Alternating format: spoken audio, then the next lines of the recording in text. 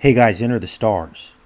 And what if, in fact, Jesus lived to be 40 years old? What if the 40 days and 40 nights that Jesus was in the wilderness directly corresponded to the 40 years that the Israelites were in their wilderness? What if the lamb Passover and the sacrifice of the lamb of Jesus corresponded to the sacrificial lambs that the Israelites sacrificed? And the synchronicities go on and on.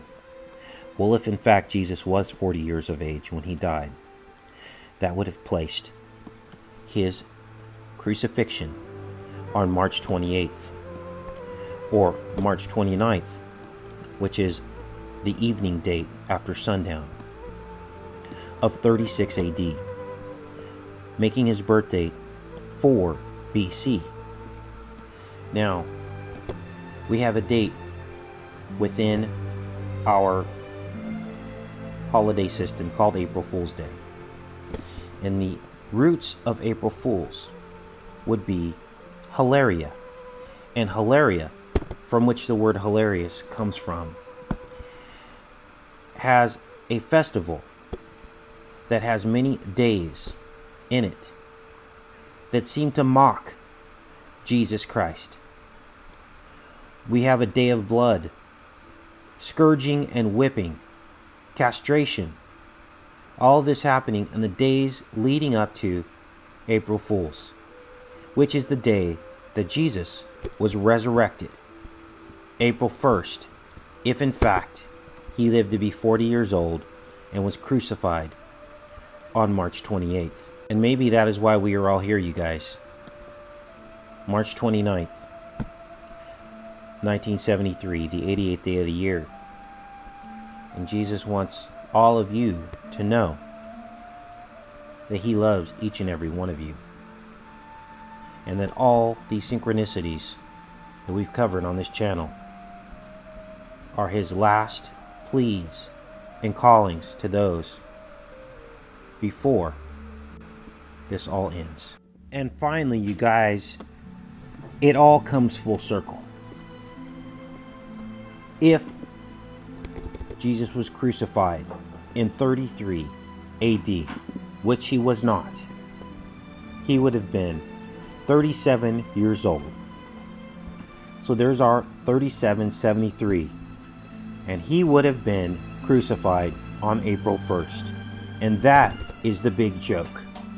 That is the mockery of our Lord and Savior. The 33, which is the highest degree of Freemasonry, the 37 years old, and April 1st, April Fools. Now it's fitting to note that the originators, the royal serpent bloodline, the Tower of London. 1857, they did an April Fool's joke. Washing of the lions, the lion of the tribe of Judah, which of course is Jesus Christ, was a fictitious event to make fun again, to mock Jesus Christ.